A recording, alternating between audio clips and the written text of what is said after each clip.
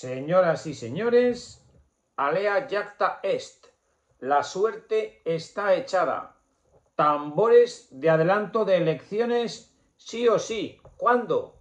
Pues posiblemente en la misma fecha que el año pasado. Y no es ningún bulo.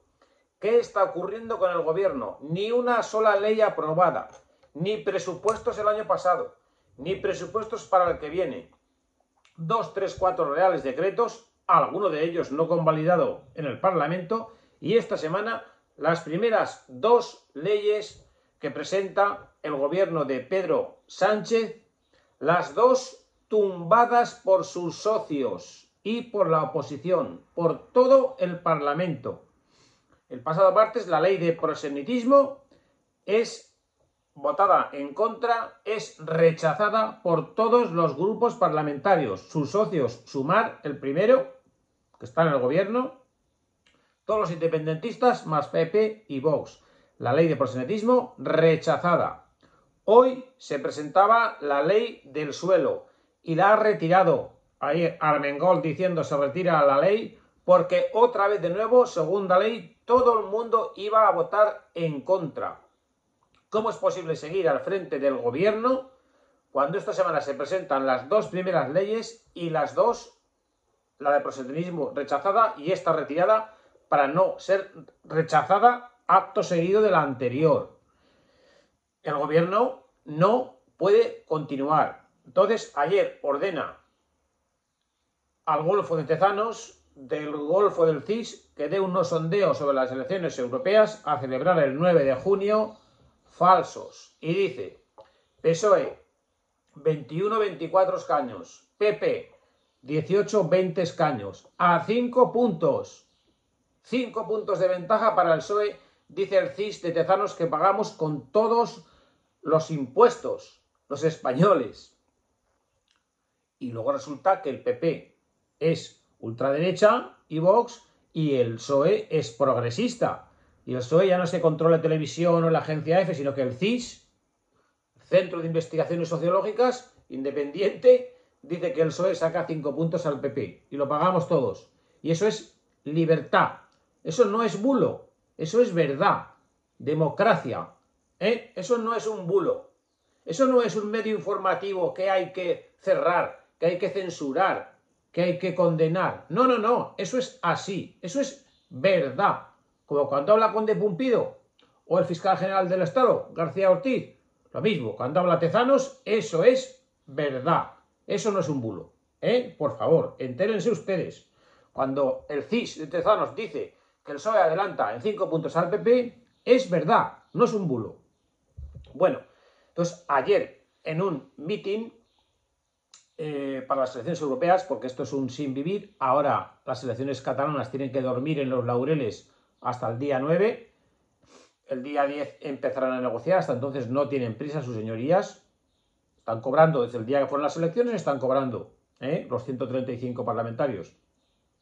Ayer Pedro, Pedrito, Pedrete, Sánchez dijo, votar PSOE y votar Rivera significa apostar por la educación y la sanidad pública. Claramente la educación pública lleva 5, 10, 15, 20 años mejorando día a día. Cada día la educación pública es mejor y mejor y mejor. Dice ayer, votar SOES y Rivera significa votar por la educación y sanidad pública. Parece ser, pues eso, que la educación privada es peor y que hay que apostar por la educación pública porque, además de gratuita, es la mejor del mundo. Estamos en el fondo de PISA. Y dijo más, los hombres de negro. ¿Quién son los hombres de negro?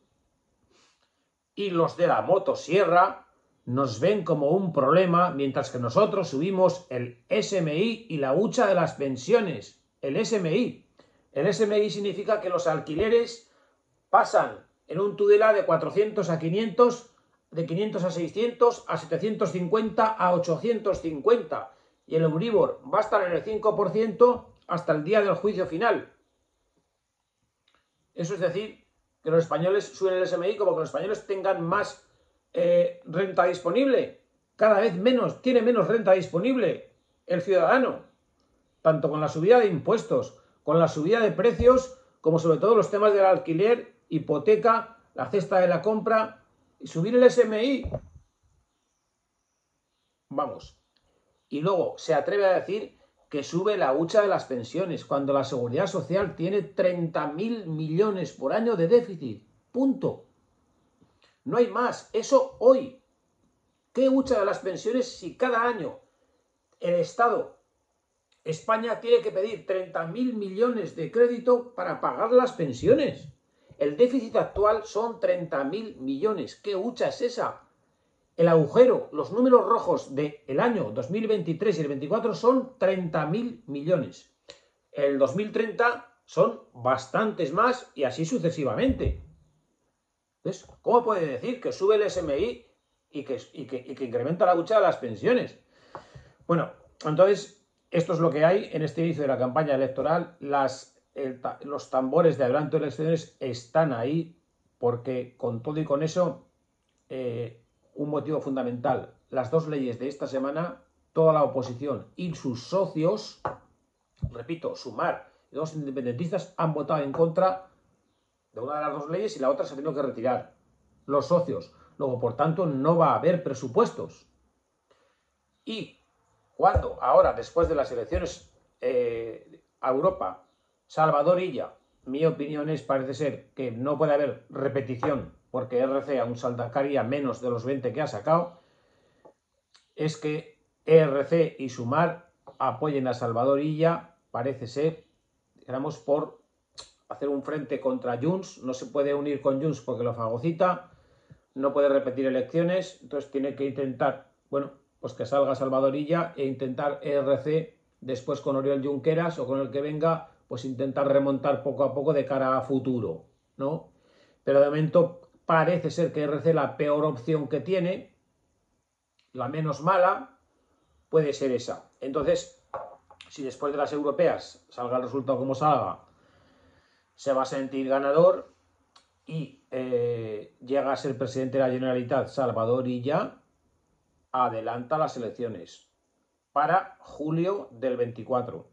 Y no es ningún bulo, es una opinión mía totalmente eh, formada y sedimentada porque primero, esta semana todas las leyes, las dos leyes que ha presentado, han sido rechazadas, no tiene socios, lo cual significa que en octubre, ya que estamos sin presupuestos, que es su obligación constitucional presentarlos y no los presentó este año pasado, ahora, si los presenta, no los va a aprobar.